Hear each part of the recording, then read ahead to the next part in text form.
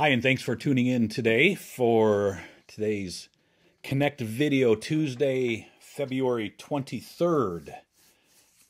And a couple things uh, to remind you of. Uh, thank you to everyone who attended the business meeting, the discussion meeting this past Sunday. I thought it was very helpful and, and informative, a great tone and spirit there. So thank you very much for that. Uh, great feedback that uh, we will go over and talk about uh, at our elder meeting coming up uh, next week. Um, next Gen Kids, our kids ministry really needs some help. We're not able yet to fully staff a, uh, a, a kids program for the 11 o'clock hour, so we really need people that can help out during the 11 o'clock hour. If that's something you might be able to do, please contact the church office or Kim Burko. Are you new to the church? Then we have a lunch coming up for you March 7th. You have to RSVP for this so that we can plan accordingly for the food and, and materials that we'll hand out.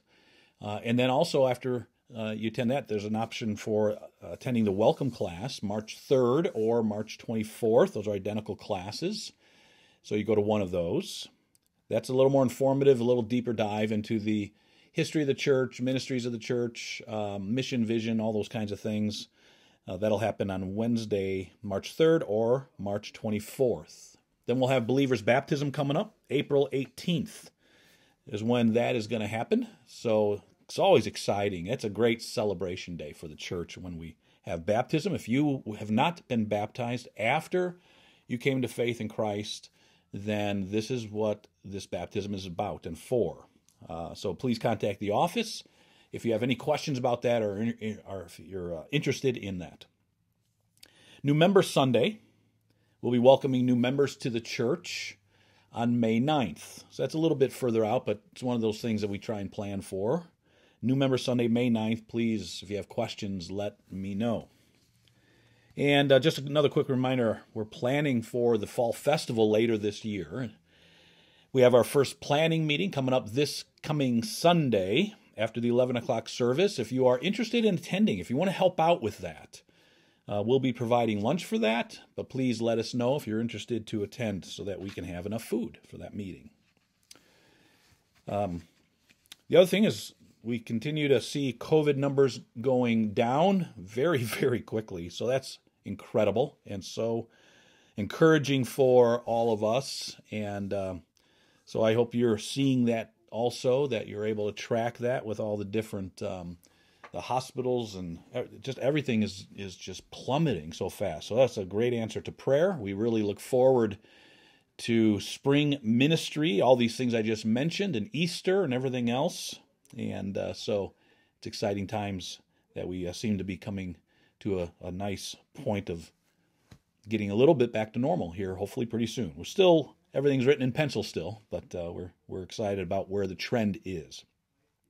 A couple of quick jokes for you.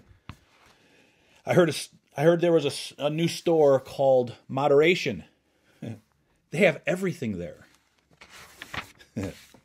okay. And what did the daddy tomato say to the baby tomato? Catch up. Sorry. All right. Hey, today I want to talk about just the topic I have is the topic of be still. To, to be still. I've I've found that there are seasons in life, times in life that are just busier than others. Right? Times where the work seems compressed into a smaller window of time and it's usually more intense and stressful due to deadlines and the, the amount of work kind of crammed in to a shorter amount of time. Uh, do you notice those kind of fluctuations in your pace of life and in how you live and your work and things like that?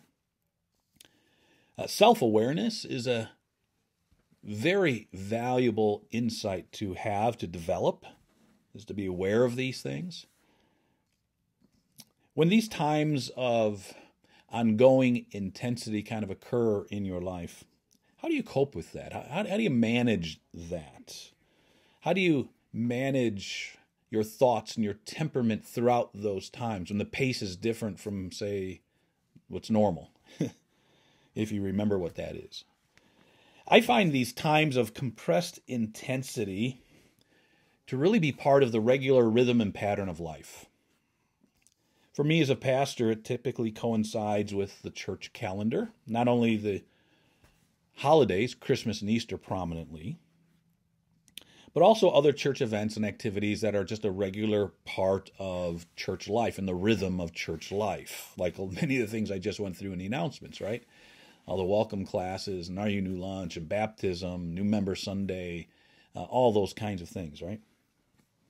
The activity seems to get more intense when you then include weddings or especially funerals. Fun- weddings are planned at least, uh, funerals are not. So that gets added to the schedule and uh, and other unplanned events that might come up. And I, I've simply found the best way to manage through these times because you can't avoid them; they're part of life. The best way I've learned to manage through these times is have a time of stillness. You need to unplug and take your days off that you need to take. You need to take those times off. Those are those are healthy times. That's why God has a Sabbath, right? For us to step away to focus on him, but there's also a personal benefit in, in our own health. But to, beyond that, there's a time of stillness, time set aside to do nothing but pray, to meditate, to read scripture, to listen for God's voice. One author says, talking about this topic, says this quote, We hate stillness. We're restless and fidgety, never fully at home in the present there's always something productive we should be doing, right? Close quote.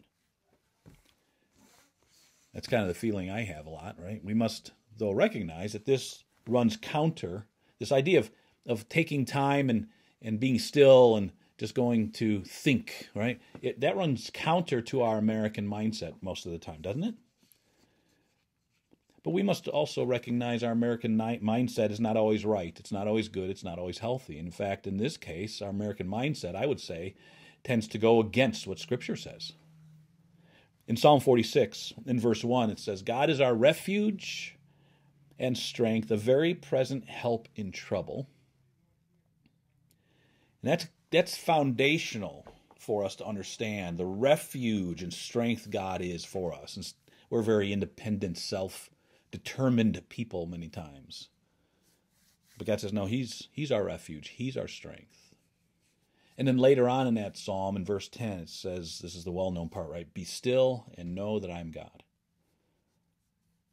I would propose to you that you can only really be still in knowing God, knowing in, in knowing Him, being confident in Him. You can only be still when you understand He's your refuge and He's your strength.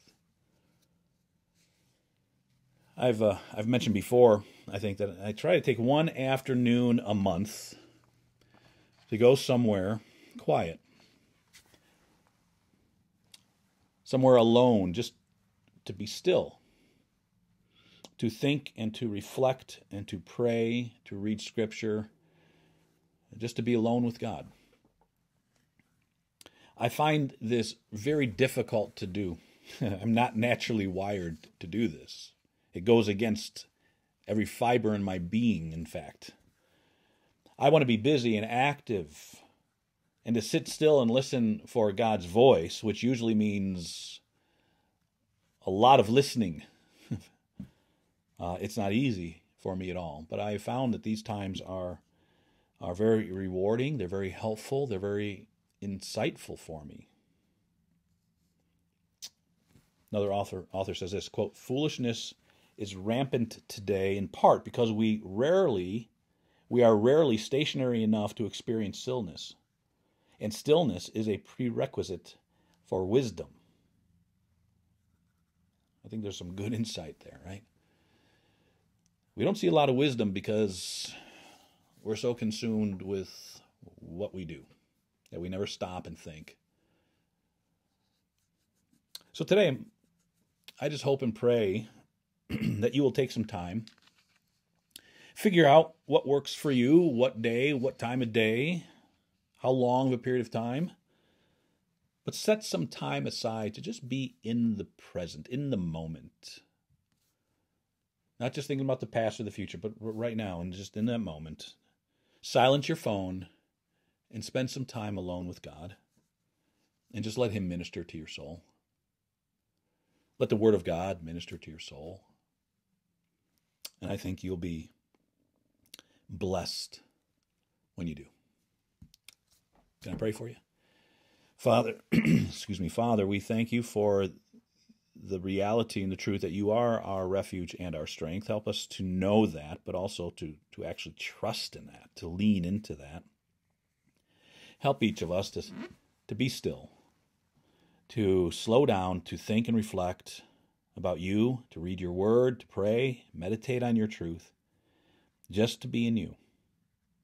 And may that become a regular part of our life's rhythm.